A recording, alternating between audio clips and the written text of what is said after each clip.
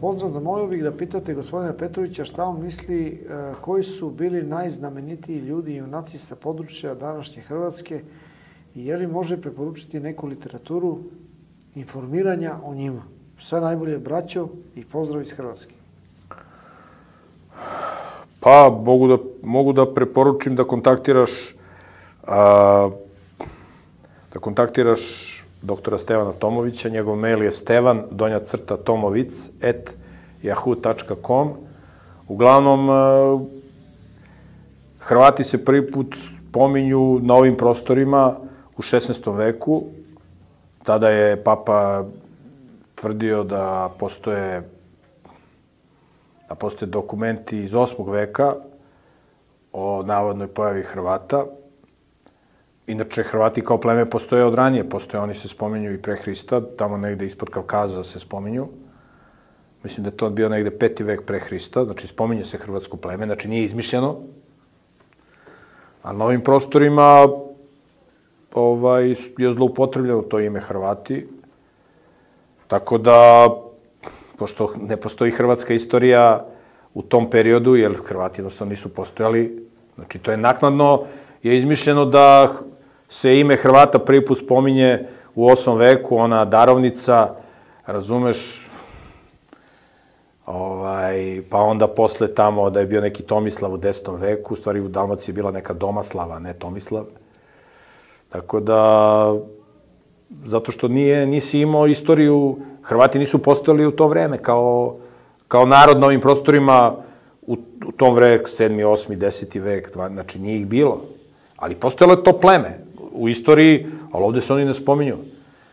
Ali je Vatikan iz, to zloupotrebio da bi izmislio, odnosno da bi formirao ovaj, od katolika na tom prostoru, da bi formirao jednu novu naciju, da bi ih odvojio od Srba. Tako da, istorija današnje Hrvatske, ako ćemo da se vraćamo u prošlost, jer Hrvati su prvi put počeli zvanično da postanu nacija na početku 20. veka. Zvanično. Inače, pre toga oni ne postoje ovaj, kao nacija. Se ne spomenju nigde u nijednom, u popisima se ne spomenju. Ovaj, ima nešto u 19. veku, ali to je Znači, nemaš ti... Tako da istorija na prostorima današnje Hrvatske je u stvari istorija Srba. Mislim, tako da... Ali, opet kažem, nije to centralno pitanje. Lepo je kad znaš svoje poreklo i... A najvažnije je da živiš moralno. Ne, ne moramo mi da se složimo oko istorijskih pitanja. Tako da, ako uradiš DNK analizu, vidjet ćeš svoje poreklo, da li si od Sima ili si od Jafeta, ako si neka od četiri najdominantnije semitske haplogrupe J, E1B1, R1B i R1A, znači da imaš semitsko poreklo. Ako si i haplogrupa, onda si od Jafeta.